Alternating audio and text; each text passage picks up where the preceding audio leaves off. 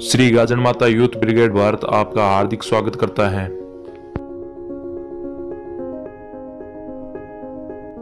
दोस्तों, आज हम आपको बताने जा रहे हैं पड़ियार वंश के कुल भूषण राव ठाकुर बेलाजी पड़ियार का इतिहास। पड़ियार वंश के कुल भूषण राव बेला पड़ियार, विक्रम संवत चौदह सौ के बिल्कुल अंत में या विक्रम संवत पंद्रह सौ के आरंभ में अर्थात दोनों सदियों के संधि काल में गाँव छायण तहसील फलोदी में सादुल सिंह पड़ियार के घर एक बालक का जन्म हुआ, जिसके नामकरण संस्कार में नाम रखा गया बेला। उस समय किसी को ज्ञात नहीं था कि आगे चलकर यही बालक राठौड़ों के जोधपुर मंडोर राज्य पुनः स्थापना में वे बीकानेर राज्य की नवीन नींव डालने में सहायक बनेगा। बेला बचपन से ही बड़ा होनार था तथा विश्व रस्ता में आते आते तो इसके विलक्षण गुणों की चर्चाएँ पवन की तरह आसपास फैलने लगी। पूरे यौवन पर आते आते तो बेला अस्त्र शस्त्रों से पूर्ण प्रागत हो गया। इसके तलवार के कर्तव्य देख लोग दांतों तले अंगुली दबाने लगे। इसके साथ साथ बेला एक अद्वितीय घुड़सवार था। अड़ियल से अड़ियल घोड़े पर बेला एक बार सवार हो जाता तो घोड़ा भी बेला के इशारों पर चलने लग जाता। अपने हम उम्र नव युवकों के साथ घुड़सवारी करना, घोड़ों की दौड़ कराना, नए घोड़ों को परीक्षण देना तथा घोड़े पर सवार होकर अपनी तलवार का हुनर दिखाना बस यही दिनचर्या थी बेला। की धीरे धीरे बेला घोड़ों का ज़बरदस्त पार्क बन गया। वे घोड़ों की नस्ल का वर्गीकरण करने में सिद्ध हस्त था। घोड़े की लगाम पकड़कर हाथ फेरते फेरते ही घोड़े के सब गुण अगुण ज्ञात कर लेता था। घोड़ों के साथ रहते रहते बेला घोड़ों को एक अच्छे वेद बन गया। बीमार घोड़े को देखकर बेला देसी जड़ी बूटियों से तैयार दवा देता तो घोड़ा तुरंत स्वस्थ हो जाता। अतः आसपास के लोग यदा कदा अपने बीमार घोड़ों को दिखाने बेला के यहाँ आते रहते थे। इन सब के अलावा बेला चित्रवान एवं निष्ठावान तो था ही, परंतु बल एवं शौर्य में बेजोड़ था। शरीर में बलिष्ठ होते हुए भी शांत एवं सौम्य स्वभाव का नवयुवक था। दूरदर्शी गुण बेला में ईश्वरीय देन थी। समय से पूर्व प्रत्येक काम का लाभ या हानि का स्पष्ट ब्यौरा बताने में मैं सक्षम था। जोदो जी के पिता राव रिडमल जी रणमल को विक्रम सौ चौदह सौ पिचानवे में सिसोदियों ने अपने ही महल में धोखे से मारकर मंडोर पर अधिकार कर लिया था। उस समय जोदो जी अपने भाइयों सहित मेवाड़ में था। इन सबने भागकर अपनी जान बचाई थी। मंडोर पर शिशोद्योग अधिकार विक्रम सौ पंद्रह सौ दस तक कायम रहा। इन सोलह सालों मंडोर वापस लेने के लिए जोधा ने अनेक आक्रमण किए, परंतु हर बार मुँह की खानी पड़ी। सत्ताविहीन जोधा का कोई ठोर ठिकाना था नहीं, सो एक गाँव से दूसरे गाँव फिरते रहते थे। इस दौरान जोधा की मुलाकात संयोग में बेला पड़ियार से हुई था। इस विलक्षण प्रतिभान युवक से बहुत प्रभावित हुए। एक, दो नहीं, बल्कि अनेक गुणों से संपन्न इस युवक को अपने साथ रखने का जोधा ने मन बना लिया। जोधा के साथ चलने को बेला भी संग्रह तैयार हो गया। अब जोधा को एक चतुर और बुद्धिमान योद्धा सलाहकार के तौर पर मिल गया, ताकि मंडोर वापस लेने हेतु सलाह मशवरा किया जा सके। जोधा व बेला के आपसी विचार विमर्श में दूरदर्शी व नीति निपुण बेला पड़ियार ने जोधा जी को सलाह दी कि इन छिटे पुट आक्रमणों से मंडोर पर अपना अधिकार होना संभव तो है नहीं, बल्कि अपनी शक्ति को भी दिन प्रतिदिन क्षीण होती जाएगी अतः हमें थोड़ी ढील देकर गोपनीय ढंग से आसपास के ठिकानेदारों को अपने में विश्वास लेकर उनकी मदद से सामरिक शक्ति का भरपूर संचय करके फिर उचित समय देकर मंडोर वापस लेने के लिए आर या पार की नीति से आक्रमण करना चाहिए। जो हमारे उद्देश्य का आखिरी आक्रमण हो, भले इसमें कुछ समय और लग जाए। बेला की रणनीति अनुसार आसपास के ठिकानेदारों को विश्वास में लेकर, उनकी मदद लेकर पूरी तैयारी के साथ उचित समय पर विक्रम संवत पंद्रह में मंडोर पर अचानक हमला इतनी तेज़ी से किया कि सिसोदियों को संभलने का मौका ही नहीं मिला और मामूली से मुकाबले के बाद घबराहट में सिसोदियों के इस युद्ध में पैर उखड़ गए और वे मंडोर छोड़कर भाग गए और मंडोर पर राव जोधा का पुण्य अधिकार हो गया। इस युद्ध में बेला की रणनीति तथा युद्ध कौशल एवं वे शौर्य से राव जोधा इतना प्रभावित हुआ कि बेला को सम्मानजनक पद देकर अपने दरबार में रख लिया। बेला पड़ियार जोधो जी का एक वफादार साथी ही नहीं, वरन उसकी निष्ठाएँ सदैव ही असंदिग्ध बनी रही। सिसोदियों और राठौड़ों, में वेर का बीज तो पड़ ही चुका था। सो राणा कुंभा जब मेवाड़ के राज सिंहासन पर आरूढ़ हुआ तो मारवाड़ उसकी आँखों में किरकिरी की तरह रड़क रहा था। सो अवसर देकर राणा कुंभा भारी सैन्य बल के साथ मारवाड़ को रोंदने आगे बढ़ा। इधर राव जोधा भी भारी सैन्य बल के साथ मुकाबले को आगे बढ़ा तथा गोडवाड़ के आसपास दोनों सेनाएँ आमने सामने अपने अपने खेमों में डट गई तथा किसी भी समय किसी की ओर से महाविनाश का नगाड़ा बच सकता था। ऐसे में बेला पड़िया ने नापा सांकला से बेला नापाक की बड़ी बहन राव जोधा को ब्याई थी तथा छोटी बहन राणा कुंभा को ब्याई थी। ये दोनों महाशक्तियाँ आपस में ही लड़कर खत्म हो जाने पर तुली हैं। क्या इस मेवाड़ वे मारवाड़ के विनाश को रोका नहीं जा सकता? तब नापा बोला बेला जी आपकी सोच से मैं सहमत हूँ, परंतु होनी को टाल नहीं सकता। बेला बोला, टाला जा सकता है। कुंभा आपका बहनों ही है। जो आप जाकर उसे समझाओ, इधर मैं राव जोधा को समझाता हूँ। इन विनाश को रोकने में बेला व नापा सफल हुए, तथा दोनों की संधि कराकर बोले कि आज से गोडवाड़ की दक्षिण सीमा मेवाड़ की तथा उत्तरी सीमा मारवाड़ की होगी। ऐसी थी बेला पड़ियार की दूरदर्शी व बुद्धि चातुर्य। अन्यथा दोनों महाशक्ति आपस में ही टकरा कर नष्ट हो जाती या फिर इतनी कमज़ोर हो जाती कि इतिहास की धारा ही पलट जाती। अपने समय के अद्वितीय घुड़सवार सूरवीर योद्धा बेलोजी पड़ियार के नाम से बेलोजी अवार्ड भी घोषित हो चुका है, जो प्रतिवर्ष उल्लेखनीय कार्य करने वाले प्रतिभाओं को प्रदान किया जाता है।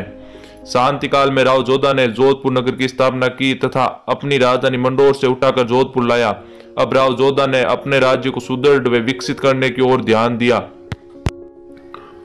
विक्रम संवत पंद्रह सौ पंद्रह ईस्वी चौदह सौ में जोधा ने मंडोर के निकट चिड़िया टूक की पहाड़ी पर अपने नाम से जोधपुर नगर बसाया, जिसे विश्व पर यह दोआ प्रसिद्ध है। पनरे से पनरोतरे जेठ मास पखजार जोधे रचियो जोधपुर ग्यारह शनिवार।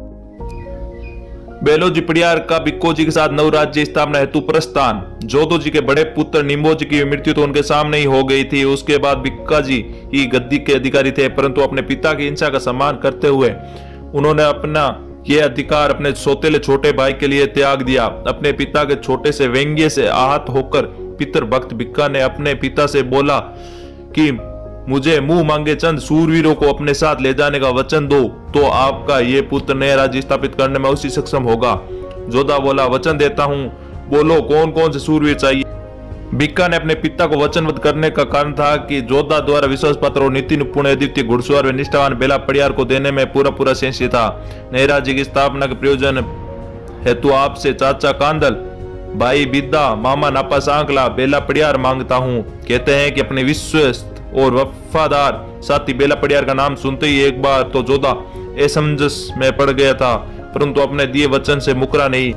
इसके उपरांत विक्रम संवत पंद्रह सौ बाईस, आश्विन सुदी तद, दस तद अनुसार ईस्वी से चौदह सौ पैंसठ तारीख तीस सितंबर को बिका अपने चाचा कांदल जी, भाई बिदा मामा नापा व बेला पड़िया आदि जबाजो कफिला लिए अनजानी राहों पर नव राज्य की स्थापना हेतु जोधपुर से चल पड़ा। सुख छोड़ा धरा छोड़ी छोड़ी मायड़ बोम बिकाराज सवार ने ना, कोई मांगियो मोल अमला बेला आपने रंग बेला पड़िया इनके अतिरिक्त उस समय इनके साथ चाचा मंडेला रूपा और मांडण भाई जोगा तथा कई स्वामी भक्त और हित चिंतक भी थे जिनमें मेहता लाला और लखन तथा पछाउत मेहता वर के नाम से विशेष उल्लेखनीय हैं इस अवसर पर उनके साथ सौ घुड़सवार तथा पाँच सौ पैदल सेना थी तत्कालीन समय में के युद्धों में घोड़ों की अहम भूमिका थी तथा घोड़ों के विशेषक बेला पड़ियार साथ थे जोधपुर से प्रस्थान कर मंडोर होते हुए बीका का यह काफिला देश नोक पहुँचा वहाँ सबने कर्णी जी के दर्शन कर आशीर्वाद लिया जो उस समय संदेह विद्यमान थी कर्णी जी ने आशीर्वाद देते हुए कहा बीका तेरा यश और प्रताप बहुत बढ़ेगा और कर्णी जी के यही आदेश से ये काफिला कुछ दिन चौहल तथा वहाँ की भूमि पर अधिकार कर वहाँ से कोडमदेसर पहुँचे तथा वहाँ पर विक्रम संवत पंद्रह सौ उनतीस ईस्वी चौदह सौ बहत्तर में बिक्का ने अपने आप को राजा घोषित किया तथा बेरुजी गौरजी की स्थापना की। तत्कालीन बिक्का अपने काफिले के साथ उजाड़ पड़े, जांगलू पहुँचे तथा सांखलो के चौरासी गाँवों पर अधिकार करके इनके इलाकों पर हलमला समुन्नत बनाया। वहाँ पर बिक्का ने अपने राज ये वे सेना का विस्तार किया। अभी तक बिक्का व उसके साथियों को किसी शत्रु का कोई विशेष सामना करने की नौबत आई नहीं थी। विक्रम सौ पंद्रह सौ पैंतीस ईस्वी चौदह सौ इठहत्तर में बिक्का जी ने कांदल बिदा ना, नापा वे अपने विशेष साथी बेला पड़ियार से विचार विमर्श करके कोडम देश के पास गढ़ बनाने की योजना बनाई परंतु भारतीयों ने घोर विरोध किया तथा जैसलमेर के राव कहर के बेटे कलहण करण ने अपने 2000 सैनिकों के साथ बिक्का पर आक्रमण कर दिया। इस घमासान युद्ध में बिक्का, कांदल बिदा बेला, पड़ियार किसी के हाथों कलहण मारा गया विजा, विजय बिक्का की हुई। परंतु भारतीयों की छेड़छाड़ जारी रही। तब नीति निपुण बेला ने बिक्का को सलाह दी कि ये छिटे पुटे प्रतिदिन की घटनाएँ हमारी शक्ति क्षीण करती जाएगी। अतः यही उचित है कि हमें यहाँ गढ़ निर्माण का विचार त्याग कर कहीं दूसरी जगह पर गढ़ निर्माण की योजना बनाए। अतः गढ़ निर्माण की जगह पर सबने आपस में दोबारा विचार विमर्श किया तथा सबकी एक राय होने पर विक्रम संवत पंद्रह सौ बयालीस ईस्वी सन चौदह सौ पिचासी में रात्रि काटी पर गढ़ नींव रखी और उस गढ़ के पास ही विक्रम संवत पंद्रह सौ पैंतालीस ईस्वी सन तेरह अप्रैल चौदह सौ अठासी की वैशाख शुक्ला दो बार शनिवार को अपने नाम पर बीकानेर नगर बसाया। इस संबंध में एक प्रसिद्ध दोआ है। पनरई से पताए लेवे, शुद्ध वैशाख सुमेर, थावर बीज थरपियो बीके बीकानेर। रात्रि घाटी गढ़ निर्माण एवं बीकानेर नगर निर्माण के बाद राज्य विस्तार हेतु राव बीका ने जितने भी युद्ध किए हैं, उनमें बेला पड़ियार की भूमिका कोई भी इतिहास का जानकार भुला नहीं सकता। राव बीका के प्रति बेला पड़ियार की निष्ठा सदैव असंदिग्ध बनी रही। जांगल देश में बीकानेर नामक नव राठौड़ राज्य की स्थापना उसके विस्तार राव बिक्का जी द्वारा बेलोजी को एक अश्वार की जागीर प्रदान करना। जब राव बिका का बीकानेर राज्य सुदृढ़ और चारों ओर से पूर्णतः सुरक्षित हो गया, तब बेला पड़िया ने अपनी निष्ठाएँ एवं सेवाएँ जारी रखते हुए अपने बसने हेतु थोड़ी सी भूमि देने हेतु राव बिका से अर्ज़ की। सो मंजूर करते हुए एक अश्वार की जागीर प्रदान की, सो बेला ने अपने नाम से बेलासर गाँव विक्रम संवत पंद्रह ईस्वी सन चौदह में बसाया, जहाँ आज भी बेला के वंश संगन जनसंख्या में आबाद है। एक अश्वार जागीर का उस समय नाप था कि सूर्योदय से सूर्य अस्त तक एक घुड़सवार जितनी भूमि घेर ले, सो बेलासर के पश्चिम में डेढ़ कोस पर चारणों का गाँव शीतल था। अतः उधर अपना घोड़ा थोड़ी दूर तक ही फेर पाए, क्योंकि चारण हाथ जोड़कर खड़े हो गए, और चारणों की ज़मीन पर अतिक्रमण क्षेत्रियों को शोभा नहीं देता। पूरे पूर्व में दो कोस पर जाटों का गाँव तेज रसर था, जो पहले से ही किसी जागीर का गाँव था, परंतु फिर भी पड़ते किस की ज़मीन पर अपना घोड़ा फेर दिया। दक्षिण में जाटों का गाँव मूड सर था, अतः उधर भी तिरछी दिशा में घोड़ा फेर कर ठीक ठाक ज़मीन पर आधिप्य कर लिया। उत्तर दिशा में अड़चन कम आई, अतः ढाई तीन कोस तक घोड़ा फेर कर भूमि पर आधिप्य जमाया। बेलासर की भौगोलिक स्थिति चारों ओर से सिकड़ी हुई है। अगर बेला जी को खुली चपाट भूमि नापने को मिल जाती तो आज इस गाँव का क्षेत्रफल विशाल होता, क्योंकि बेला के जोड़ का घुड़सवार उस समय कोई नहीं था। ये ऐतिहासिक महापुरुष बेला विक्रम संवत पंद्रह सौ चौहत्तर के लगभग अपनी धवल यशकृति पीछे छोड़कर देवलोक गमन कर गया। एक अश्वार की ही जागीर बिकाजी ने अपने मामा नापा सांकला को प्रदान की थी। सो अपने नाम से नापा जी ने नापासर गाँव बसाया, जो कि बेलासर से तीन कोस के फेस फासले पर पश्चिम में पड़ता है, तथा बेलासर व नापासर के मध्य में सिंथल गाँव पहले से आबाद था। नापो जी एक अच्छे सगुन विचारक भी थे, सो एक बार बेलोजी से बोले कि, हम सगुन विचार कर ये मालूम करना चाहिए कि एक साथ बसे बेलासर व नापासर गाँव में आबाद हो रहे हमारे वंशजों का भविष्य काल कैसा रहेगा? सो एक दिन। नापोजी व बेलोजी सगुन विचार के लिए रात में बीकानेर से घोड़ों पर सवार होकर पहले नापासर पहुँचे एवं दरवाज़ा खटखटा कर सांकलों से पूछा कि जाग रहे हो या सो गए? अंदर से किसी सांखले ने जवाब दिया, अब यहाँ कौन जागता मिलेगा? यहाँ तो सोपा पड़ गया। सोपा रात्रि के उस समय को कहते थे जब गाँव में चहल पहल बंद सी होकर सन्नाटा पसर जाता। नापा जी बोले, बेला, मेरे वंश का तो सोपा पड़ गया। अर्थात मेरे वंशज इस गाँव में लंबे समय तक आबाद नहीं रहेंगे। वास्तव में उनकी बात सत्य साबित हुई। आज नापासर में नापोजी का वंशज एक भी घर आबाद नहीं है। अब दोनों घोड़ों पर बेलासर पहुँचे। तब तक रात और गहरा हो चुकी थी। सो दरवाजे पर दस्तक देकर आवाज़ लगाई, सो गए या जाग रहे हो? किसी बढ़ियार ने जवाब दिया कि अभी तक तो बढ़िया हाँ। नापो जी बोले कि बेला तेरे वंशज इस गाँव में भविष्य में भी आबाद रहेंगे, तथा वंश विस्तार होगा। नापो जी के मुँह से अचानक वाणी फूटी की सांखला, सोपो पड़ियो, पड़िया रहा पड़ियार नापो जी का कथन सही साबित हुआ कि नापासर में आज भी नापो जी का वंशज कोई भी सांकला मौजूद नहीं है। बीकानेर के महाराजा सुजान सिंह के राज्य काल विक्रम संवत सत्रह सौ सत्तावन में से विक्रम संवत सत्रह सौ बानवे के मध्य कई सांकलों को तो राजद्रोह में फांसी दे दी गई तब बच्चे खुचे डर के मारे नापासर गाँव छोड़कर लापता हो गए, जिनका आज तक कोई अता पता नहीं है। हालाँकि नापासर एक कस्बा बन चुका है और बहुत प्रगति पथ पर है। लगभग सब जातियाँ बसी हुई है तथा प्रगति में बेलासर से बहुत आगे हैं। कुछ सांकलों के घर भी हैं, परंतु उनमें से कोई नापोजी का वंशज नहीं है।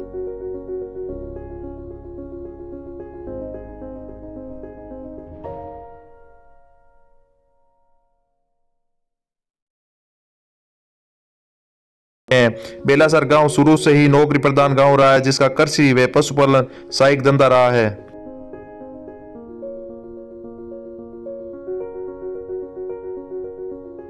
तो दोस्तों, कैसी लगी आपको ये वीडियो?